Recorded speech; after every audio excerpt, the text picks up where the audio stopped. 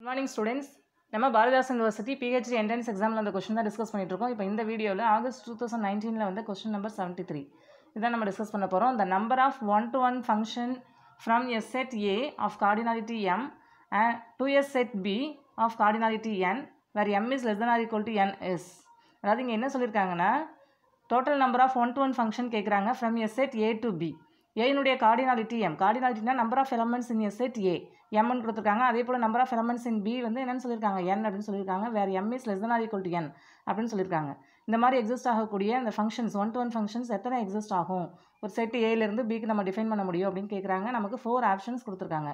First option is N factorial second one is N factorial divide by N minus M factorial third one is N minus M factorial and last one is M factorial இப்போ நம்ம solution பார்க்கலாம்.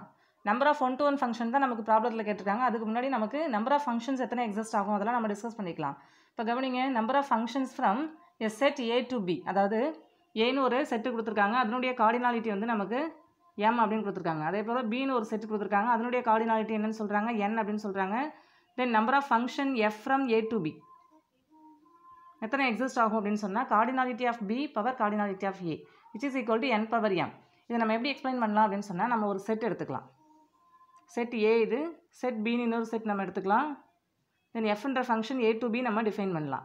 இப்போ set ஏல எத்தனை elements எஃப்ன்ற function நம்ம define பண்ணுறோம் set ஏல எத்தனை எலமெண்ட்ஸ் இருக்கிறதா சொல்லியிருக்காங்க எம் எலமெண்ட்ஸ் இப்போ A one A two and so on M elements நமக்கு இங்கே எக்ஸிஸ்ட் ஆகுது. நெக்ஸ்ட் பியில் எத்தனை எலமெண்ட்ஸ் இருக்கிறதா சொல்லியிருக்காங்க B one B two and so on B N இப்படி நமக்கு சொல்லியிருக்காங்க தென் எத்தனை மேப்பிங் எக்ஸிஸ்ட் ஆகும்? இப்போ ஏ ஒன்கிற ஒரு எலமெண்ட் நம்ம ஏல சூஸ் பண்ணோம் அப்படின்னா ஏ ஒன்னுக்கு எத்தனை பாசிபிலிட்டிஸ் இருக்குது இமேஜஸ் நமக்கு என் பாசிபிலிட்டிஸ் இருக்குது அப்போது ஏ ஒன் அப்படிங்கிற அந்த எலமெண்ட்ஸுக்கு எத்தனை பாசிபிலிட்டிஸ் மேப்பிங் நமக்கு N possibilities N mapping exist ஆகும். அதே போல் ஏ டூ எடுத்துக்கிட்டோம் அப்படின்னா அதுக்கும் என் பாசிபிலிட்டிஸ் இருக்குது அதே போல் and so on A M எடுத்துக்கிட்டோம்னா அதுக்கும் நமக்கு என் பாசிபிலிட்டிஸ் இருக்குது அப்போ டோட்டல் நம்பர் ஆஃப் ஃபங்க்ஷன்ஸ் வந்து எத்தனை எக்ஸிஸ்ட் ஆகும்?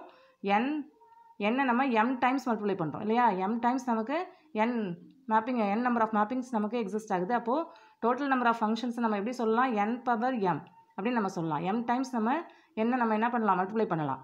அப்போது என்கிறது கார்டினாலிட்டி ஆஃப் பி எம்ங்கிறது கார்டினாலிட்டி ஆஃப் ஏ தேர்ஃபோர் நம்ம அதை எப்படி number of functions from A to B நம்ம எப்படி சொல்லலாம் அப்படின்னு சொன்னால் கார்டினா cardinality of B power cardinality of A which is equal to N power M இப்படி நம்ம மார்க் பண்ணலாம்.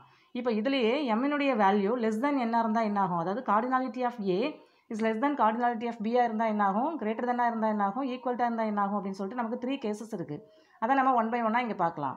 If M is less than N M less than என்ன இருந்ததுன்னா மேப்பிங் எப்படி எக்ஸிஸ்ட் ஆகும் நமக்கு?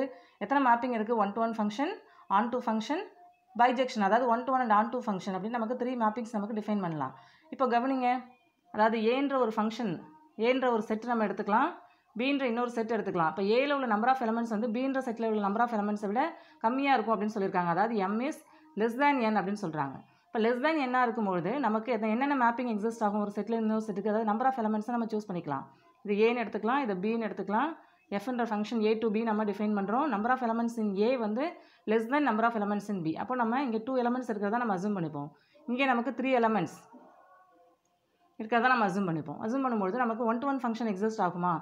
அதாவது ஒன் டு ஒன் ஃபங்க்ஷன்னா என்ன? இங்கே ஏல உள்ள ந- எல்லா எலமெண்ட்ஸுக்கும் டிஸ்டிங்க்ட் எல்லா எலமெண்ட் ஹேஸ் டிஸ்டிங்க்ட் இமேஜஸ் அப்படின்னு நமக்கு தெரியும். அப்போ இங்கே நம்பர் ஆஃப் எலமெண்ட்ஸ் கம்மியாக இருக்கிறதுனால நம்ம என்ன பண்ணலாம்? டிஸ்டிங்க்ட் இமேஜ் எலமெண்ட்ஸுக்கு டிஸ்டிங் இமேஜ் இருக்கிறத நம்மளால் டிஃபைன் பண்ண முடியும்.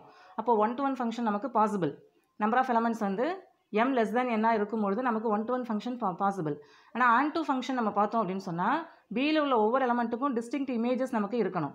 ஆனால் இங்கே பியில் நம்பர் ஆஃப் எலமெண்ட்ஸ் அதிகமாக இருக்குது அப்போது நமக்கு டிஸ்டிங்க்ட் இமேஜஸ் எக்ஸிஸ்ட் ஆகுமானா ஆகாது. இங்கே நம்பர் ஆஃப் எலமெண்ட்ஸ் கம்மியாக இருக்குது அப்போ நமக்கு ஒருவேளை நம்ம டிஃபைன் பண்ணலாம். இப்போ எக்ஸ் டூ ஏ எக்ஸுக்கு ப்ரீ இமேஜ் வந்து ஏ இருக்கிறதா அசூம் பண்ணிக்கலாம். ஒய்க்கு ப்ரீ இமேஜ் பி இருக்கிறதா நம்ம அசூம் பண்ணிக்கலாம். அப்போ இசட்டுக்கு நமக்கு ப்ரீ இமேஜ் இருக்காது.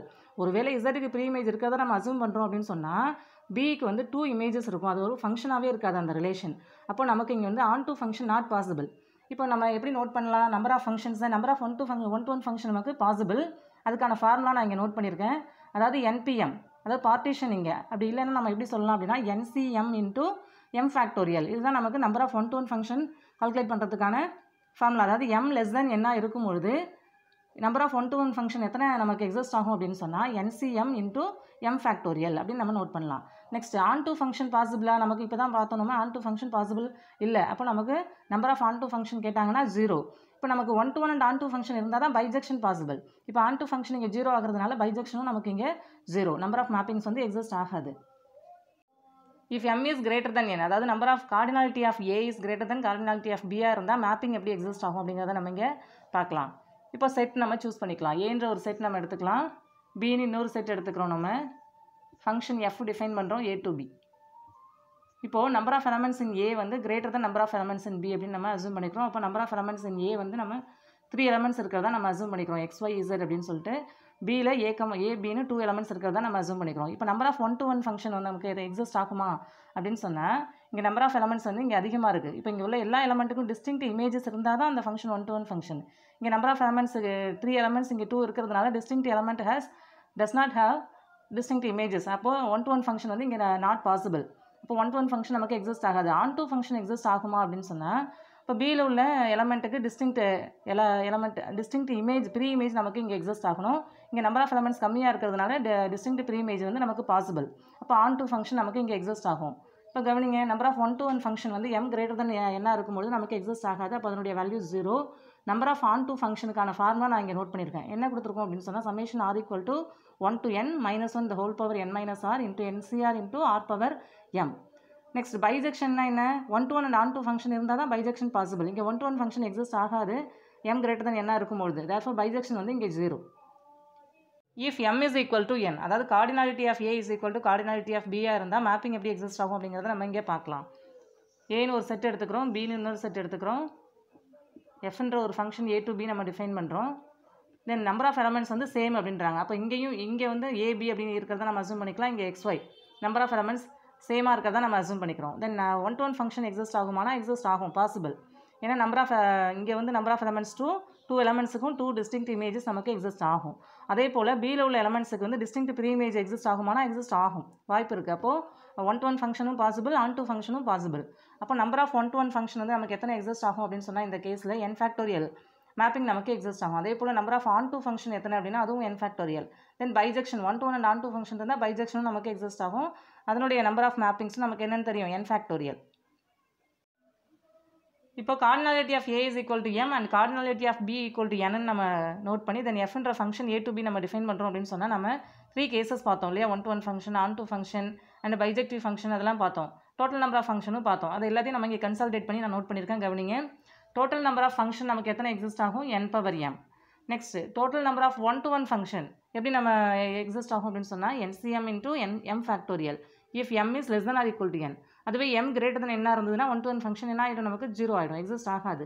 Next total number of onto function எப்படி நம்ம நோட் பண்ணலாம்? Summation R equal to one to N minus one the whole power N minus R into NCR into R power M if M is greater than or equal to N which is M is less than என்ன இருந்தால் நான் two ஃபங்க்ஷனும் not possible அப்போ அதனுடைய value zero next total number of bijective function நமக்கு எத்தனை exist ஆகும் அப்படின்னு சொன்னால் என் ஃபேக்டோரியல் எப்போ எம் இஸ் ஈக்குவல் டு என்ன இருந்ததுன்னா நமக்கு பைஜெக்டிவ் மேப்பிங் பாசிபிள் அப்போ எத்தனை பைஜெக்டிவ் ஃபங்க்ஷன் நமக்கு எக்ஸிஸ்ட் ஆகும்? என் ஃபேக்டோரியல் ஃபங்க்ஷன் நமக்கு இங்கே எக்ஸிஸ்ட் ஆகும். இப்போ நம்ம ப்ராப்ளத்தில் என்ன கேட்டிருக்காங்க? கார்டினாலிட்டி ஆஃப் ஏ வந்து நமக்கு எம்என் கொடுத்துருக்காங்க. கார்டினாலிட்டி ஆஃப் பி வந்து என்என் கொடுத்துருக்காங்க. வேறு M is less than or equal to N இப்போ M less than or equal to என்ன இருந்ததுன்னா ஒன் டு ஒன் ஃபங்க்ஷன் பாசிபிளானா பாசிபிள் இங்கே.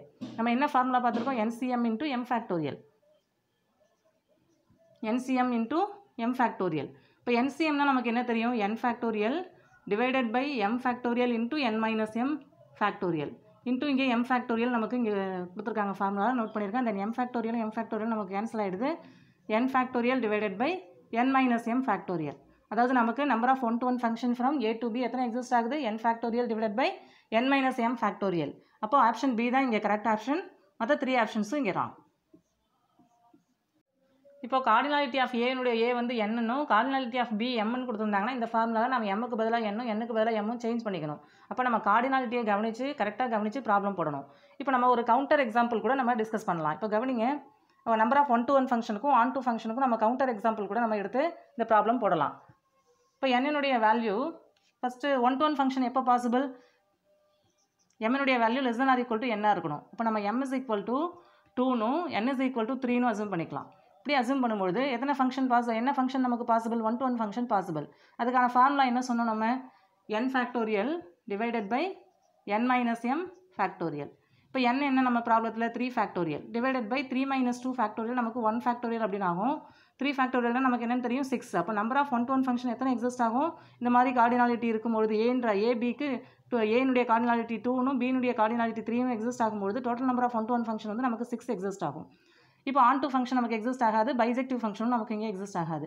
இப்போ next M is greater than or equal to என்ன இருக்கும்பொழுது நமக்கு ஆன் டூ ஃபங்க்ஷன் பாசிபிள் அப்போ நம்ம எப்படி சூஸ் பண்ணிக்கலாம்? எம் இஸ் ஈக்குவல் டு ஃபைவ்னும் என் இஸ் ஈக்குவல் டு டூன்னு நம்ம சூஸ் பண்ணிக்கலாம். சூஸ் பண்ணும்பொழுது number of onto function எப்படி நம்ம கால்குலேட் பண்ணலாம்? என்ன ஃபார்முலா சொன்னேன்? Summation R equal to one to N N one minus one the whole power N minus R NCR into R power M இதுதான் நம்ம formula சொன்னோம் இல்லையா? இப்போ இந்த ஃபார்முலாவில் நம்ம எக்ஸ்பேண்ட் பண்ணலாம். அதாவது ஆரினுடைய வேல்யூ இங்கே என்ன டூன்னு இருக்கிறதுனால ஆரினுடைய value one two one two வரைக்கும் தான் வேரி ஆகும். நம்ம முதல்ல ஆருக்கு வேரியேஷன் கொடுத்து நம்ம இதை எக்ஸ்பேண்ட் பண்ணிக்கலாம். இப்போ எக்ஸ்பேண்ட் பண்ணால் என்ன ஆகும் நமக்கு minus one the whole power N minus one first ஒன்றுன்னு அப்ளை பண்ணும்பொழுது என் மைனஸ் ஒன்று ஆகும். ஆருக்கு மட்டும் நான் வேல்யூ கொடுக்குறேன். Then NC one one power எம்னு ஆகும் first term then second term என்ன ஆகும் minus one the whole power N minus two ஆருக்கு டூன்னு நம்ம வேல்யூ கொடுக்கும்போது இங்கே என் மைனஸ் டூன்னு ஆகும். இங்கே என்சி டூ இங்கே டூ பவர் எம் அப்படின்னு நமக்கு வேல்யூ எக்ஸிஸ்ட் ஆகும். இப்போ என்னுடைய வேல்யூ டூ அப்போ நம்ம இதோட நம்ம ஸ்டாப் பண்ணிவிடுவோம் ஆர் ஈக்குவல் டு எதுலேருந்து எது வரைக்கும் வேரி ஆகும்? என் வரைக்கும் தான் வேரி ஆகும்.